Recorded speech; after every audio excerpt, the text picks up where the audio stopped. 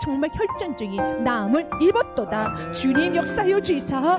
우리 귀한 아버님 완전한 치유 은혜가 있게 하여 주시고 실력을 보시사. 완벽하게 있는 은혜 허락하여 주시고 약을 먹을 때마다 그 약의 효과가 100으로 200으로 1000배로 합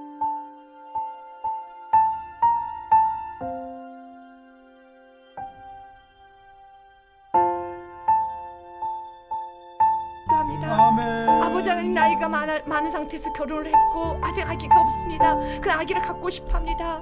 지금 나이와 상관없이 주님께서 생명을 허락하셨다면 그 생명 그